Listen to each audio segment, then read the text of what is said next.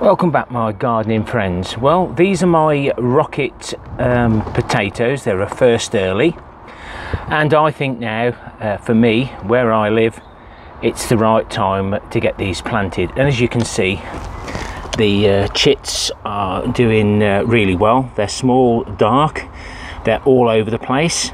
That's the bottom that's the top. Now if you want bigger potatoes you knock the chits off. But as you know I love small potatoes. So all the chits stay on for me. So my homemade compost mix for the potatoes looks like this. Some of the material from the compost bin. We've taken most of it out now. This is uh, reasonably rotted down. I'll be adding some well rotted manure some of the leaf mould that come out of the trommel with twigs in, some of the spent compost that's got the perlite in that we've spread across the uh, allotment, the soil, compost and material from out the old beds out of the polytunnel. Need a little bit of soil in there to give it a, a bit of body as well as the leaf mould, saves it drying out too quickly some log ashes and some blended eggshells. They'll be planted into these 56 litre cloth pots that uh, I find the compost in that gets dumped on the side of the road by the cannabis growers. And as a little experiment, remember the uh, comfrey cake from 2018 that was dried and blended. And we'll have another go at using this potato feed that I had given me. So two pots with the artificial two pots with the blended comfrey cake. And after 12 months this what it looks like. So the potatoes will work on all that material uh, throughout the summer over the winter. And then this is what I've been using in the bottom layers of the carrot and parsnip beds because it's still got a little bit of nutrient left in it. But that's there just as an example of what you can create from mixing all your composts soils and anything else you've got to create a potato mix that costs absolutely nothing eight, no, 12 seed potatoes from the allotment shop, just over a pound. One UK pound, I think one pound 20. So this is the soil compost material from the polytunnel, the old beds. A Quick sprinkle on each one that I add. Log ashes eggshells, manure, and uh, log ashes and eggshells, leaf mould, and unfortunately a few twigs with lots of worms, log ashes and eggshells, and finally the spent compost with perlite in it that I find uh, dumped uh, fly tipped and now just a, a good mix.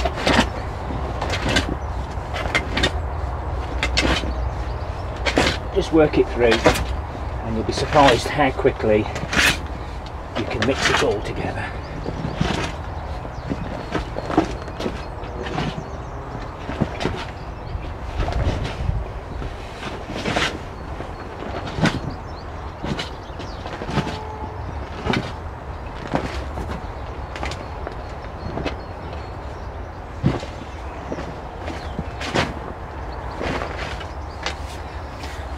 Finish that off. So that's a, a really good stir. And there we go. Bit of everything in there.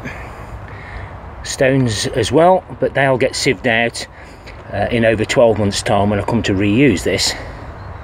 Now the moisture content on this is pretty good. A lot of people make the mistake of watering in the seed potatoes. You can, but it may rot the tuber. The tuber, if reasonably solid, will have enough moisture to get the plant growing so you don't have that problem. We'll just sit you somewhere and I'll get uh, one of the bags. Right, we've only one person, so how do you use a shovel and hold the container? So if you get uh, a good shovel full on, hold the shovel there and then let the back of the shovel rest on your arm. You can physically hold the bag straight.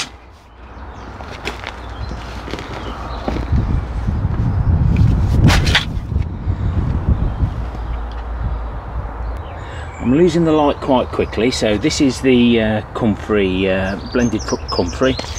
Uh, I've got to have enough for two layers. Beware of the dust guys. Any dust. And uh, you just get the two potatoes. Preferably we'll have them near the handles. And then when we come so far up we can have it opposite the angles. Handles so we're just going to add more compost to that now.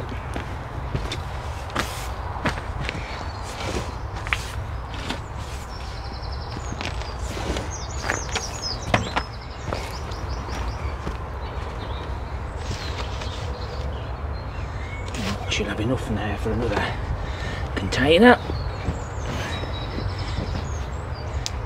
Don't worry about the twigs.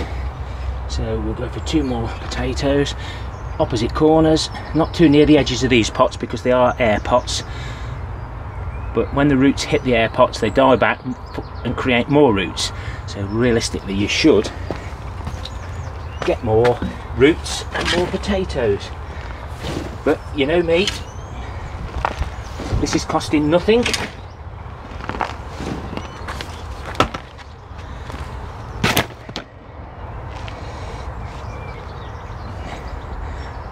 First earlies and lights, take them to the top. Don't compact it. These will go now into the uh, the uh, greenhouse here on hashtag starting an allotment. Don't forget to pay hashtag starting an allotment a visit if you're new to an allotment and see how I actually uh, created this allotment from day one uh, and to two years on. This will have my tomatoes in at the moment these are my New Year's Day potatoes.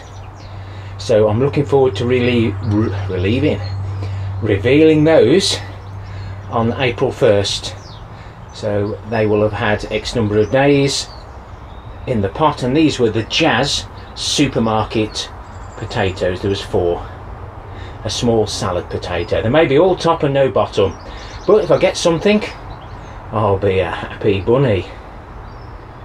So I'm going to end up with three containers, not four. Can't multiply. So this is the uh, potato feed, and it says uh, so much. That's it, so much.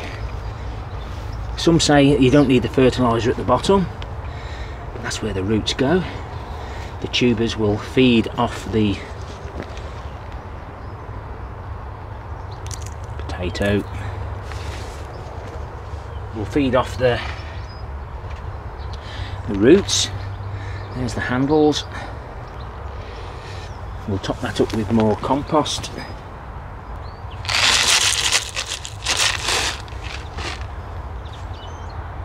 Pop the potatoes in. Opposite the handles push them down a wee bit. We'll get that topped up now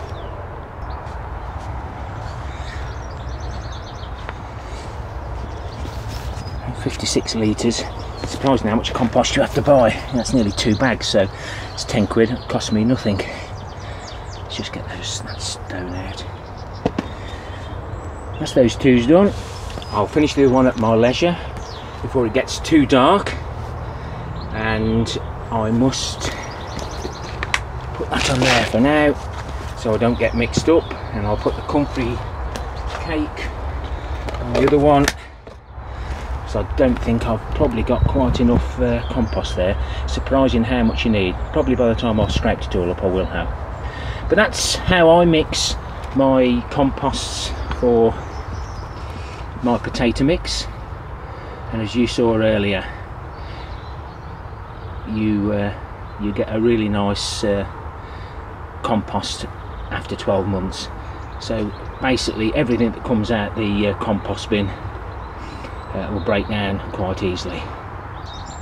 That's if I'd have been clever enough to get some compost bin out the compost bin for the mix. So I'm going to have to take a little bit out the top of those mix a bit of this in with the other uh, and top it off. What a wally. So this is the material out the compost bin. Uh, realistically that's uh, really uh, really good stuff. So I'll mix that with the stuff that I've already taken out at the tops. And at least I can say I remembered the compost bin. So there we have it. Got it right in the end. I'll uh, now there's definitely enough material uh, for the other bucket but I will make a note that this one may have had more compost bin in it. But it don't matter. It doesn't cost nothing so this is the final bag and this has had more compost bin material in it. So we'll keep this one separate. So that's three separate ones. One with no added uh, ingredients other than what we've uh, added with the compost. One with a bit of artificial and one with the comfrey cake the blended dried comfrey cake. Now I'll say that's well wet enough especially now I've got some out the uh, compost bin. What a wally. Well as long as you rectify the mistakes it ain't a problem. Now I add log ashes to prevent slugs and scab. I fully believe that log ashes prevent those two things. A lot of people say differently but ever since I've been using log ashes um, I haven't had uh, uh, any issues whatsoever. So these will stay in now till uh, possibly the middle towards the end of May where we probably may get our last frosts.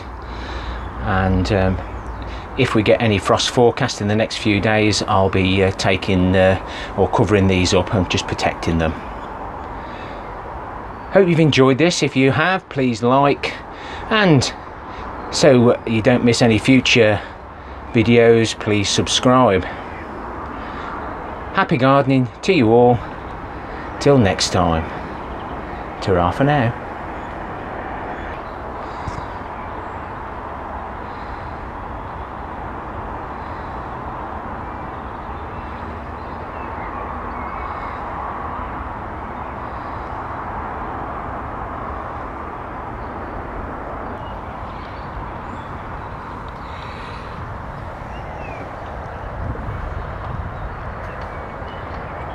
These are my potato buckets for this year.